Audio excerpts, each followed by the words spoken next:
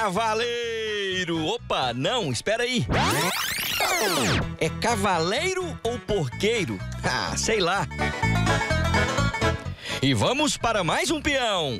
Vai que é sua! Ih, não deu. E para contar essa história, a gente veio aqui no residencial Green Park, região noroeste de Goiânia, às margens da GO 070, saída para Inhumas. Aqui é uma casa, mas é como se fosse uma chácara, porque é um terreno bem grande. A família mora aqui há muito tempo. Eu aqui, ó, já vim até com a minha botina aqui, ó, preparado.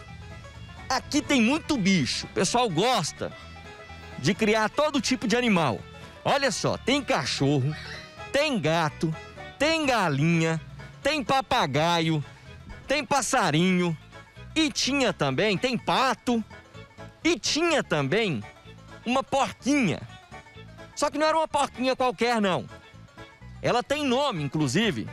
Se chama Suzy. Era uma porca de estimação. Até que um belo dia, ou não tão belo assim, a porquinha desapareceu. Saiu por aqui, aqui fica sempre aberto. Tem muitas crianças, que são os bisnetos da dona Fatinha e do Carlinho Cabeça Branca, muito conhecidos aqui na região.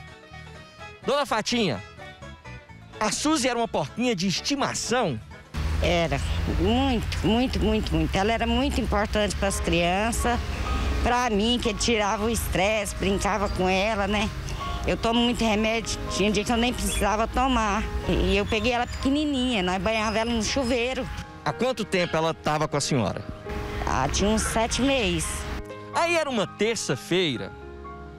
Ela estava aqui no quintal e de repente, quando a dona Fatinha foi fazer um café, a Suzy, ó, sumiu. Voltou, ela já não estava mais por aqui. Ela ficava sempre nessa região aqui do quintal, perto do pé de manga. A gente pode ver, olha a quantidade de bicho. Tem cachorro, tem papagaio, gato, galinha, pato, passarinho, de tudo. E tinha porquinha também. Como que foi nessa terça-feira quando ela sumiu, dona Fatinha? Então, ela, ela dorme na coberta, nem esqueci de contar que nós põe cobertinha para ela, caminha, coberta, e ela assim igual o menino. Ela dormiu. Aí eu acordei cedo, e soltei ela, a ela e pus a comida ali, naquele canto. Ela estava comendo, comeu, ficou por aqui. Ela ficava catando esses milhozinhos da galinha. Eu entrei lá para dentro, fui fazer café, os meninos foram brincar para ali. Então, então eu achei que ela estava por perto deles, né? Quando eu fui ver, cadê a porca? Não, cadê a porca? E um caça, outro vai para ali, procura, procura, não encontra mais. Foi rápido.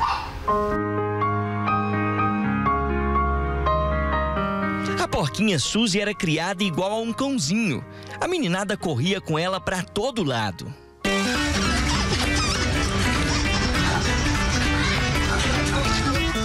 Inclusive, se chamar, ela vem.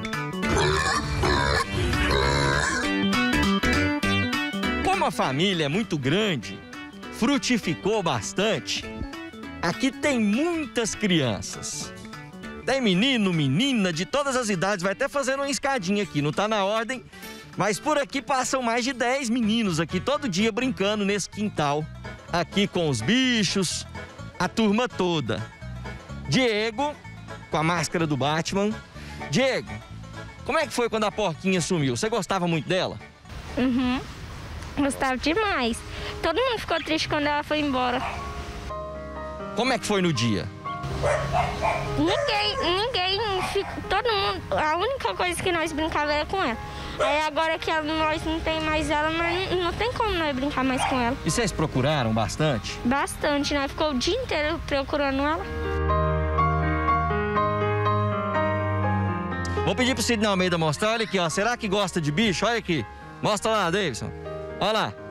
Chega, carrega o, o, os passarinhos aí no, no ombro. Como é que é? Tá sentindo falta? Sentindo falta do, do, do bichinho, da porquinha? Ela é muito mansinha. Se chegar, se alguma pessoa chamar ela, ela vai para qualquer um. Ela é muito mansa. Ela não morde, ela, ela não faz nada. Isabelle, você ajudava a cuidar da Suzy? Como é que era para tratar dela, para cuidar? O que, que vocês faziam? Ah, a gente dava comida pra ela, brincava com ela. Brincava Olha- com a porca? Olha a lama dela ali, ó. A lama ali. É e vocês brincavam dela. com a porca? Brincava. E tá fazendo falta. Tá. Pede pro pessoal trazer a porca de volta ou falar onde ela tá. Pede pro pessoal. Traz minha faca que eu quero montar nela.